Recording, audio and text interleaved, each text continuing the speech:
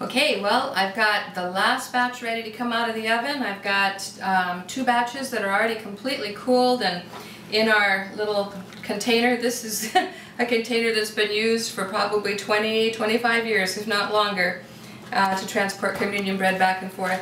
Some that I've already broken up in pieces and I do kind of go through them and if I see some that are maybe a little too dark, ones that were on the edges or some that broke, I'll sort those out. Let's get the last batch out. My glasses fogged all up. Slide that right off onto the cooling rack. It's a little bit dark as we were setting up here to do this, but those edges will come off nice and easily. I've also saved out um, three pieces. We only need two, but I've saved out three pieces just in case one of them breaks prematurely. And I've taken a paper plate, one of those sturdier um, cardboardy kinds, and I've cut a hard piece of the paper plate to fit just inside of a Ziploc bag. And what I do with this then, this is for the elders, and I just try to keep it so that it's not going to break.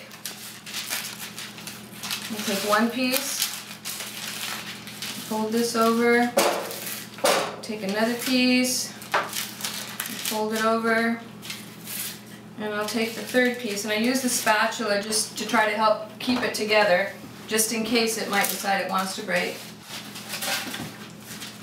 Fold that all up.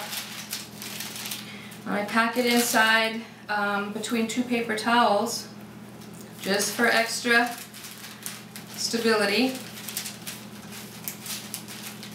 And then I put it inside the Ziploc bag. You get the idea. This one's today.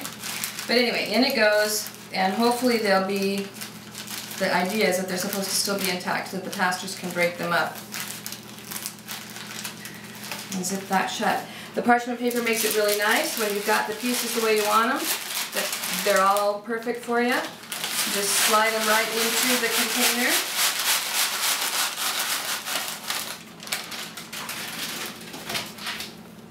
Lay the pastor's portions right on top and it's ready to transport to church.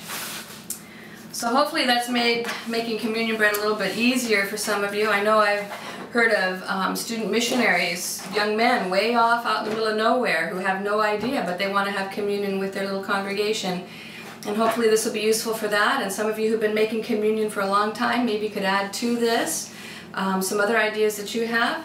But uh, we just hope that it's a blessing for your church and that your congregation will enjoy. Thank you.